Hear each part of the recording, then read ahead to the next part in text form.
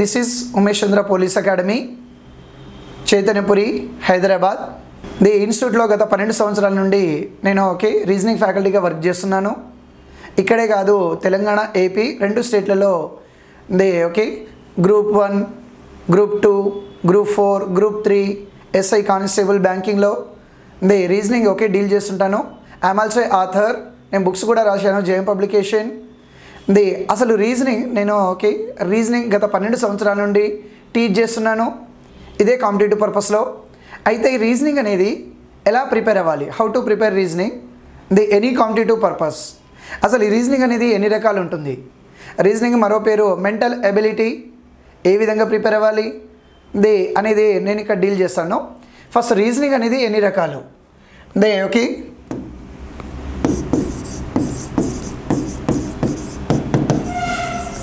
Reasoning అయితే చూడండి ఇక్కడ ఓకే సాధారణంగా రీజనింగ్ని మూడు విధాలుగా ఓకే డివైడ్ చేస్తుంటారు. అది ఎలా అంటే first the verbal reasoning verbal reasoning verbal reasoning the రెండవది non verbal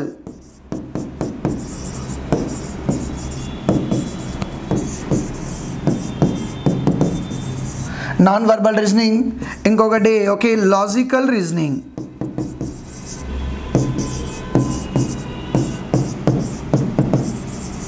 logical reasoning అయితే చూడండి ఇక్కడ ఓకే మూడు విధాలుగా ఓకే త్రీ పార్ట్స్గా డివైడ్ చేస్తాడు. Verbal non verbal logical reasoning అని.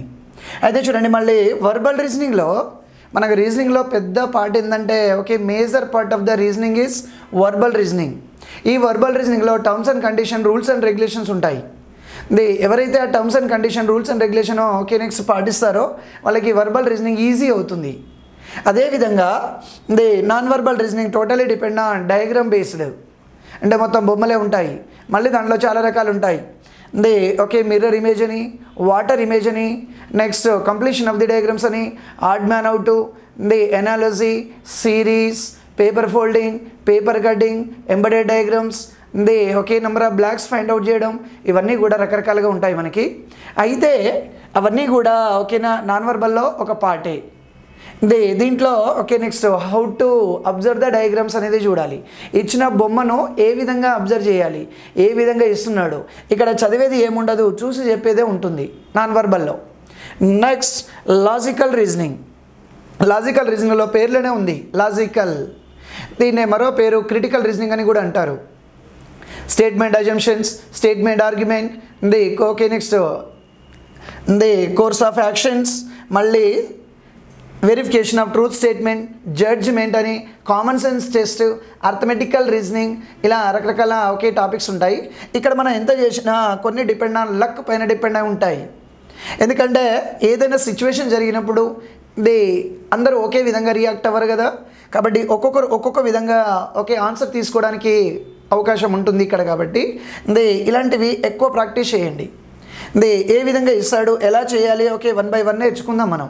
వర్బల్ అనేది మొత్తం రూల్స్ రెగ్యులేషన్ పైన డిపెండ్ అయి ఉంటుంది. ఎగ్జామ్లో ఎక్కువగా ఇచ్చేది కూడా మనకు వర్బల్ రీజనింగే. నెక్స్ట్ నాన్ వర్బల్ మొత్తం బై డయాగ్రామ్ బేస్ మీద ఉంటుంది. అది చూసి చెప్పేదే ఉంటుంది. చదివేది ఏముండదు ఎక్కువగా. లాజికల్ రీజనింగ్ ఇక్కడే చాలామంది తప్పులు చేయడానికి స్కోప్ ఉంటుంది. కాబట్టి క్వశ్చన్స్ ఏ విధంగా ఉంటాయంటే అంటే చూస్తే మనం అన్నీ ఒకే విధంగా అన్నీ ఒక విధంగా ఆలోచిస్తే అన్నీ రైటే అనిపిస్తాయి. మరి కొన్ని ఒకే ఒక ఇంకో విధంగా ఆలోచిస్తే అన్నీ రాంగే అనిపిస్తుంటాయి. కాబట్టి ఏ విధంగా చేయాలి ఇలాంటివి? ఎక్కువగా స్టడీ చేయాల్సి వస్తుంది ఇలాంటివి అని అంటాం. నెక్స్ట్. ఇప్పుడు దీంట్లో మనం ఓకే నెక్స్ట్. ఇది స్టూడెంట్ అనేవాడు ఇది ఏ విధంగా అందరికీ రీజనింగ్ అనేది అకాడమిక్లో ఎక్కడ టచ్ కాదు ఇక్కడే కొత్తగా నేర్చుకుంటాము.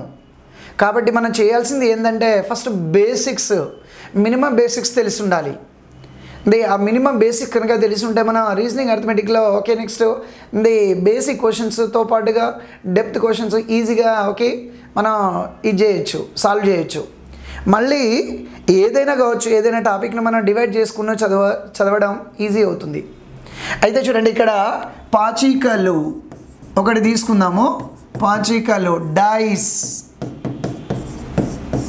ఈ డైస్ ఈ మధ్యలో ఎస్ఐ కానిస్టేబుల్ గ్రూప్ వన్లో రీసెంట్గా జరిగిన తెలంగాణ ఎగ్జామ్స్లో ఉంది ఎస్ఐ ప్రిలిమ్స్లో మళ్ళీ అదేవిధంగా మనకి కానిస్టేబుల్లో కానిస్టేబుల్ ప్రిలిమ్స్లో మళ్ళీ ఒకే గ్రూప్ వన్ ప్రిలిమ్స్లో కూడా ఇచ్చాడు.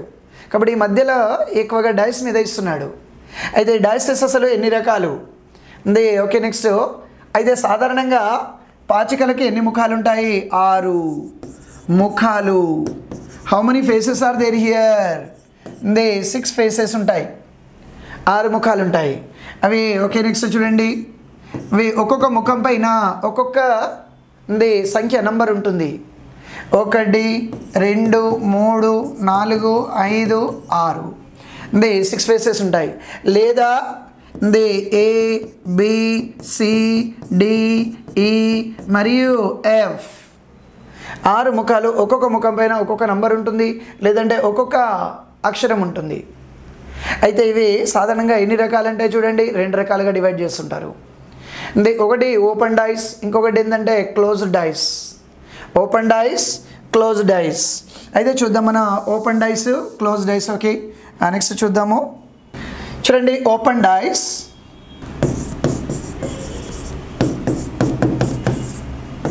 ఓపెన్ డైస్ ఈ ఓపెన్ డైస్లో అంటే తెరిచున్న పాచిక అంటారు. ఇది ఓపెన్ డైస్లో ఆరు ముఖాలు కనబడుతుంటాయి. ఇది ఓకే అవి చూడండి ఏ విధంగా ఉంటాయి అనేది. ఇది ఏ విధంగా ఉంటాయో ఓకే. ఓపెన్ డైస్లో ఆరు ముఖాలు ఉంటాయి. అవి ఏ విధంగా తీసుకుంటారు అనేది చూద్దాము.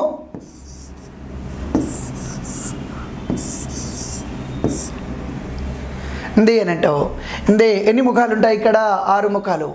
ఈ విధంగా ఆరు ముఖాలు ఉండేవన్నీ కూడా ఏ డైస్లో వస్తాయి మనకి? అంటే ఓపెన్ డైస్లో వస్తాయి. అదే ఓపెన్ డైస్ని ఏ విధంగా సాల్వ్ చేయాలో చూద్దాము. ఓపెన్ డైస్ ఒకటి ఇంకోటి close dice. Open dice close dice. ఇలా నెట్టో. ఈ క్లోజ్ డైస్ ఏ విధంగా ఉంటుందంటే ఇది ఇలా ఉంటుంది. లేదంటే ఈ విధంగా కూడా సూచించవచ్చు మనం. లేదా ఈ విధంగా సూచిస్తారు? ఈ విధంగా సూచిస్తారు. ఇప్పుడు ఓపెన్ డైస్లో ఎన్ని ఫేసెస్ ఉన్నాయి చెప్పండి? One two three four five six faces ఉంటాయి. అదే కనుక close డైస్లో okay next one two three ఇంకా రిమైనింగ్ త్రీ ఫేసెస్ ఎటువైపు ఉంటాయి? బ్యాక్ సైడ్ ఉంటాయి. కాబట్టి ఇలా మూడు ముఖాలు కనబడేవన్నీ కూడా క్లోజ్ డైస్ వస్తుంది. ఓకే ఆరు ముఖాలు కనబడేవన్నీ కూడా ఓపెన్ డైస్లో వస్తాయి మనకి.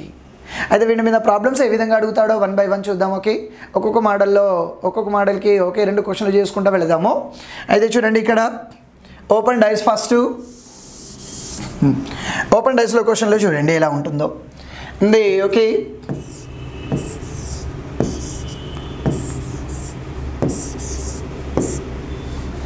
ఇలా. ఈ మధ్యలో ఏంటంటే ఓకే రెండు డైస్లు కాంబినేషన్తో కూడా అడుగుతున్నాడు. ఫస్ట్ మనం ఓపెన్ డైస్ నేర్చుకుందాము తర్వాత క్లోజ్ డైస్ రెండింటి మధ్య కాంబినేషన్ ఏ విధంగా ఉంటుందో కూడా చూద్దాం మనం.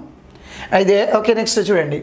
ఇప్పుడు six three two one five four one five four ఎందుకేనంటే okay one five four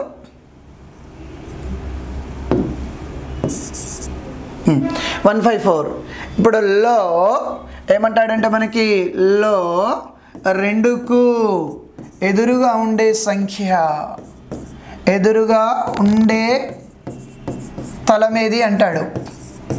లేదా ముఖమేది అంటాడు. What is the opposite number of two in the given dice what is the opposite number of two in the given dice రెండుకి ఎదురుగా ఉండే సంఖ్య ఇది అంటాడు.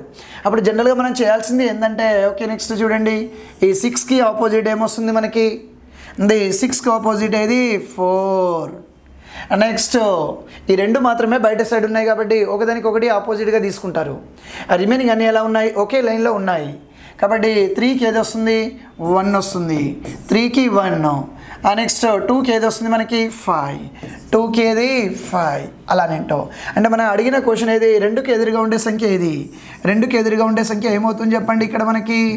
Five what is the opposite number of 2 in the given dice? they okay 5 because here okay next six and four are opposite direction so both are opposite to each other remaining four numbers are at the same line they okay either row or column either row or column then okay to take alternate here they three alternate is one two is alternate to five they okay so ఈ విధంగా అదే విధంగా ఇంకా కొన్ని చూద్దాము. Next అదేవిధంగా ఈ విధంగా కూడా ఇస్తున్నాడు ఈ మధ్యలో. ఉంది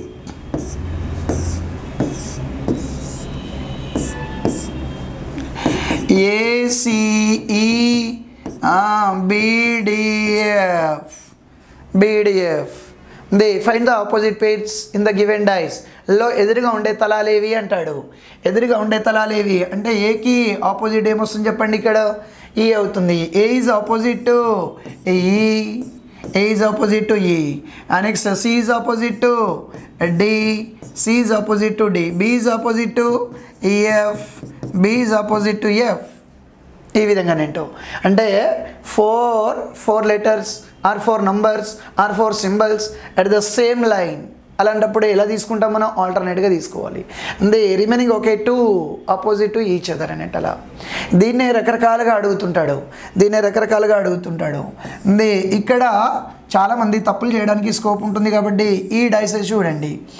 వీటిలో కొన్ని స్పెషల్ కేసెస్ ఉంటాయి. అంటే స్టూడెంట్ ఎక్కడ కన్ఫ్యూజ్ అవుతాడు అనేవి స్పెషల్ కేస్ కింద తీసుకుందాం మనం.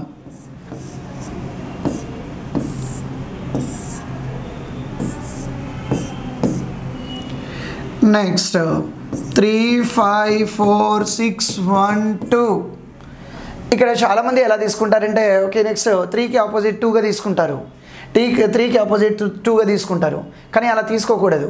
ఎందుకంటే the we compare to the okay next first two dices ఈ డైస్ కొంచెం డిఫరెంట్గా ఉంటుంది. ఎందుకంటే ఇక్కడ ఫోర్ ది లెటర్స్ లేదంటే ఫోర్ నంబర్స్ ఒకే లైన్లో ఉంటాయి. కానీ ఇక్కడ అలా ఉండదు. త్రీ త్రీ ఒక సైడ్ ఉంటుంది కాబట్టి ఆల్టర్నేట్ తీసుకోవాలి. త్రీకి ఆపోజిట్ ఏది? ఫోర్. ఉంది. సిక్స్కి ఆపోజిట్ ఏది? Two.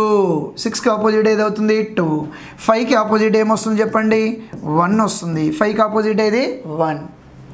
దేనంటే three is opposite to four two is opposite to six next five is opposite ఎంత? వన్. ఈ విధంగా ఓకే ఇవి ఇలాంటివన్నీ కూడా స్పెషల్ కేసెస్లో వస్తుంటాయి మనకి. ఇది ఓకే ఇంకా ఈ విధంగా అడుగుతుంటాడు.